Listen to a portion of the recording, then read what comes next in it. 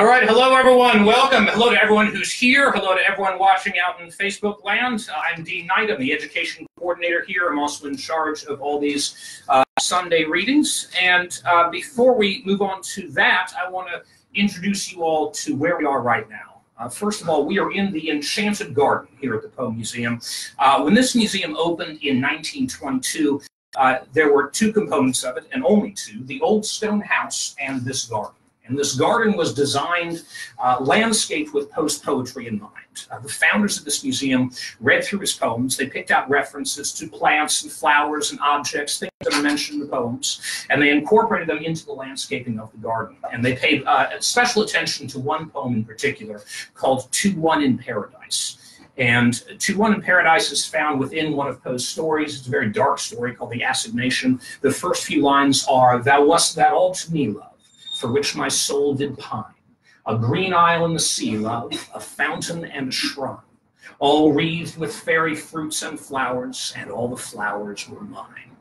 So this is the Green Isle stretching out here. The fountain is right there. We are within the shrine, which was constructed out of the bricks of the Southern Literary Messenger, which is where Poe had his first job four blocks down the street. So the shrine is a really special and unique place to do the kinds of things that we do in it, uh, where we have readings of Poe's work, uh, talks about Poe's work. And uh, I'm particularly interested in the program we're doing today. Uh, this uh, our next speaker is a longtime friend of mine and a colleague of mine, Debbie Phillips. Uh, she is the programs and rentals coordinator here at the Poe Museum, and she's going to be performing for us. Uh, and I haven't seen this program myself, so I'm actually really excited to see it. Uh, she's going to be performing uh, songs from Eliza Poe's repertoire. And, and quickly, uh, before I, I, let her take over. Eliza Poe was Poe's biological mother, and I think she's going to tell us all about that. But she was a touring actress who would go up and down the East Coast uh, performing as an actress and as a singer.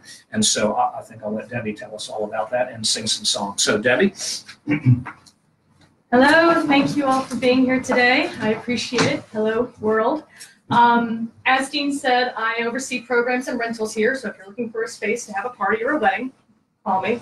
Um, Eliza, Edgar's mother, is the vehicle by which I came back to Poe. And studying her, she became a bit of a hero of mine. Uh, she, I do various living history characters, but she was my first one, and I do do a full program where I'm completely in costume. There will be a program here in Richmond on September the 28th at the Masonic Hall over on Franklin Street, which is the oldest Masons Hall in the country, still being used. And it's alleged that she gave her last performance there. So when I do my full program, I tell her whole life story in person, first character. Um, but I'll briefly summarize her life for you before I start singing some of the songs that she was most famous for. Um, she's a fascinating lady. She was born in England. Her parents were actors in the Covent Garden Theater. Uh, she and her mother came to the States when she was about eight. Her father had died some years before, and she began performing almost immediately.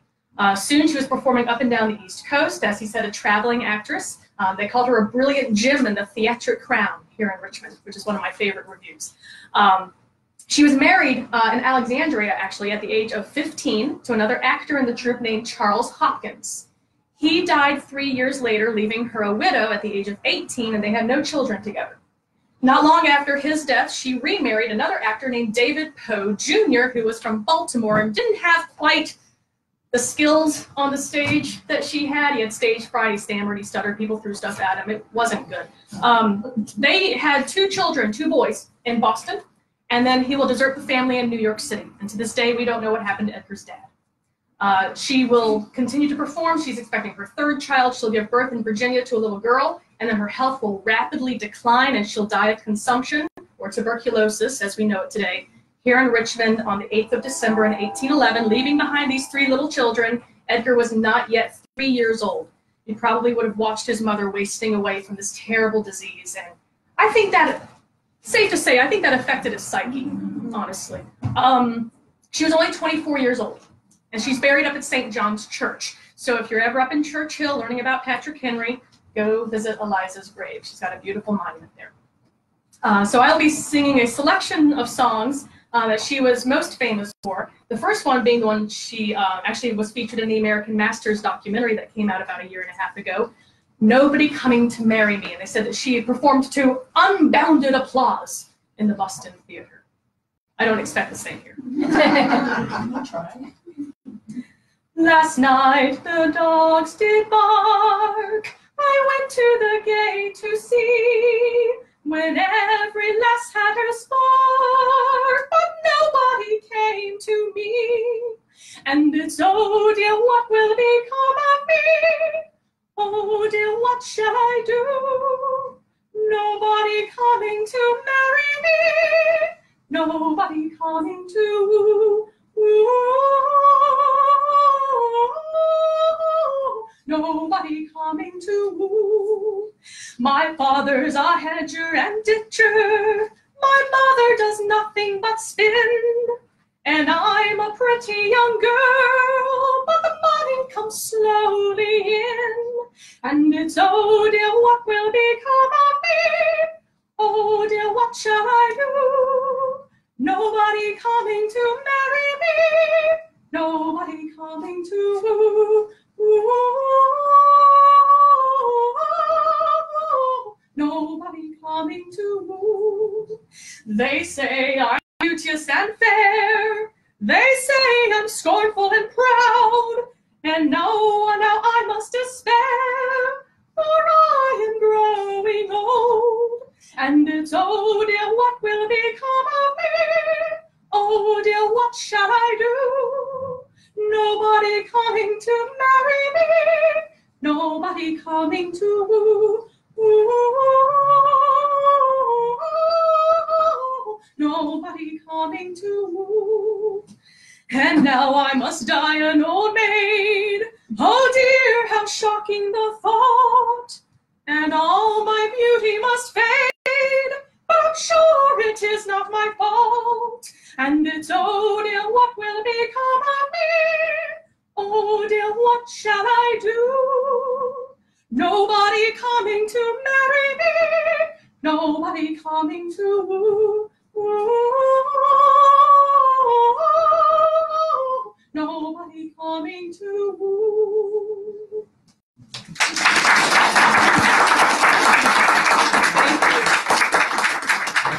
This next one is uh, one of my favorites of her songs. It's very sweet. To be clear, when I say her songs, these are not songs that she composed. They were composed sometimes for her or just famous songs of the period, which, to remind you, is late 18th century, early 19th century. This one is called Drink to Me Only with Thine Eyes. Oh. Drink to me only with thine eyes, and I will pledge with mine. Or leave a kiss within the cup, and I'll not ask for wine. The thirst that from the soul doth rise, doth ask a drink divine. But might I of Jove's nectar sup, I would not trade for thine. I sent thee late a rosy wreath, not so much honoring thee as giving it a hope that there it could not withered be. But thou thereon didst only breathe, and send'st it back to me. Since when it grows and smells, I swear, not of itself, but thee. We have to compete with airplanes. this next one is a rather sad song that sounds very happy, as was common. The Lass of the Lake, about a poor lady who dies young. Again, a common theme of Poe's works. At the foot of yon mountain where old Rosewater plays, the thirst of the peasant to slake. A damsel so lovely enlivened our days, and we call her the lass of the lake. A damsel so lovely enlivened our days, and we called her the lass of the lake. The little god Cupid invaded her breast, such aim it was cruel to take. In the white garb of truth the deceiver was dressed, who betrayed the sweet lass of the lake. In the white garb of truth, the deceiver was dressed, who betrayed the sweet lass of the lake. A false one imposed on simplicity's child, she thought he but lived for her sake. He wedded another, poor Lucy went wild, and she ended her days in the lake. He wedded another, poor Lucy went wild, and she ended her days in the lake. By moonlight her form has been said to appear, while sweethearts by love kept away. Repair to the spot and shed sympathy's tear, or the poor ruined lass of the lake. Repair to this spot and shed sympathy's tear, or the poor ruined lass of the lake.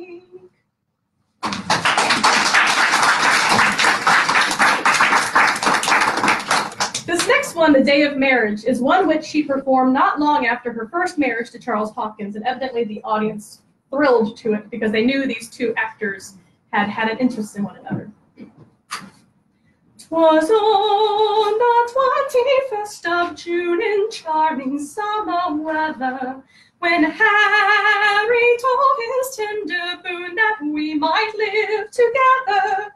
'Twas on the twenty-first of June in charming summer weather, when Harry told his tender boon that we might live together. I first said yes and then said no, and he each answer carried. At length the twelve-month proved it so. The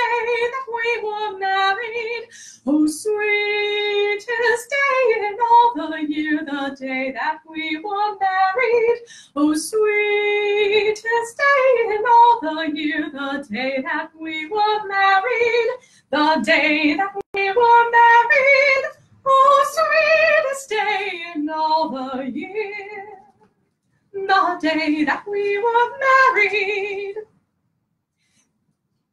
Three years have passed in mutual bliss, so maidens do not tarry. A single life is sure a miss, so I advise to marry.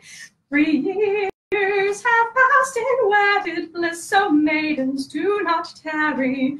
A single life is sure a miss, so I advise to marry. For was the time to come again? To church I would be carried, and truly bless the happy day.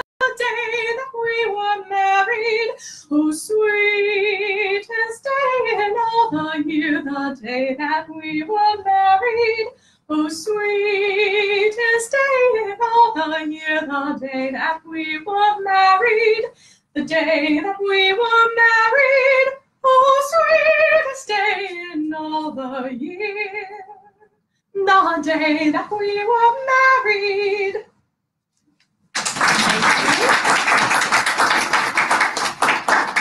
This next one is quite sad. Um, when I'm performing my full program, I intersperse these songs throughout her monologue to better tell her story. And this is the one which I always perform when I'm speaking about her husband David deserting the family in New York City, leaving her alone with two little boys. It's called Henry's Cottage Maid.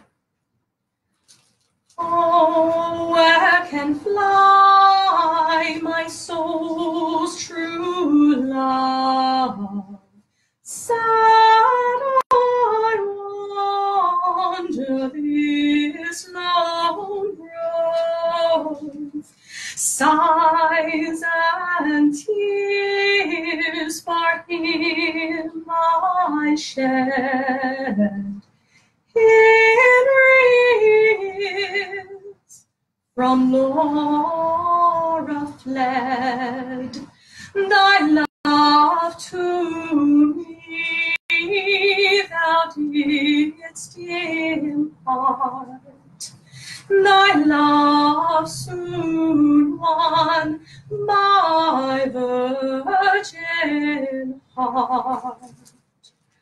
But dearest Henry, thou betrayed. My love, with thy poor cottage maid, through the veil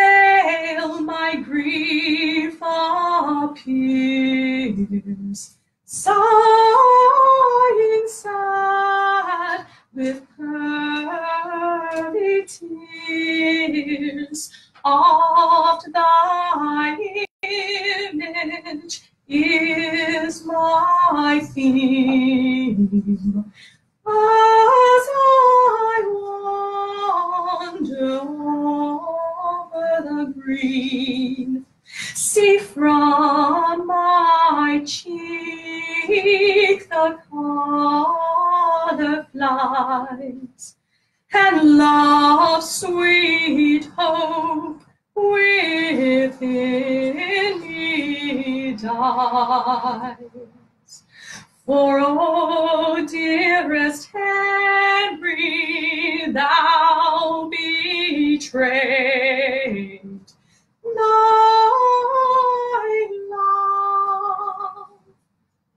with thy poor cottage maid.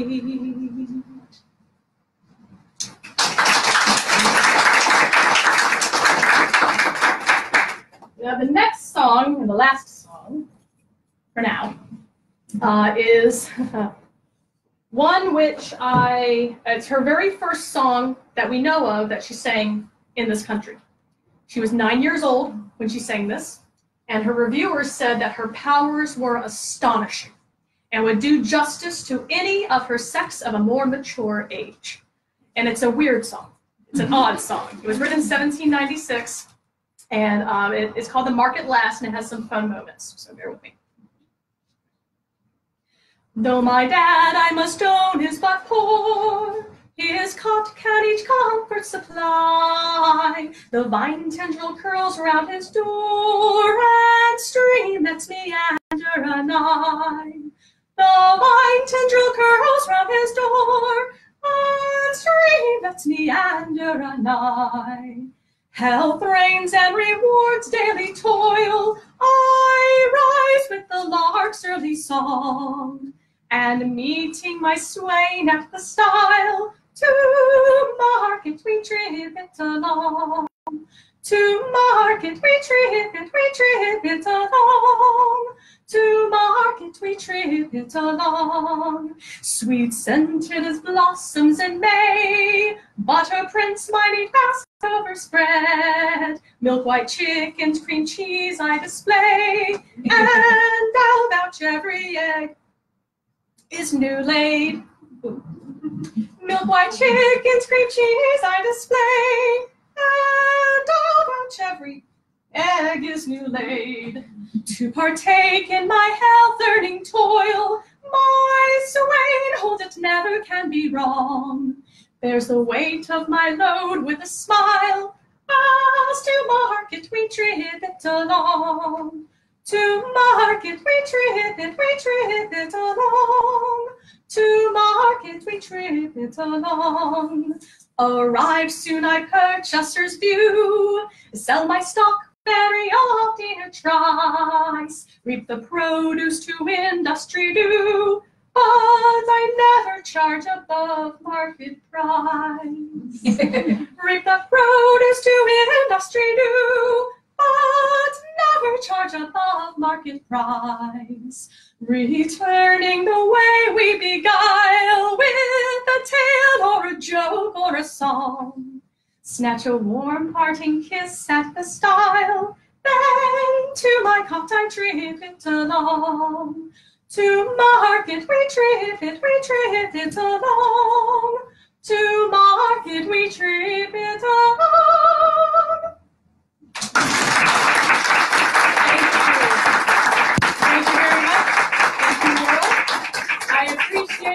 support. I hope that you have enjoyed yourselves today. And if you have not yet taken a tour of the museum, I believe one will be available at one o'clock with this fine genius gentleman here, D Knight. Thank you all. Have a wonderful day.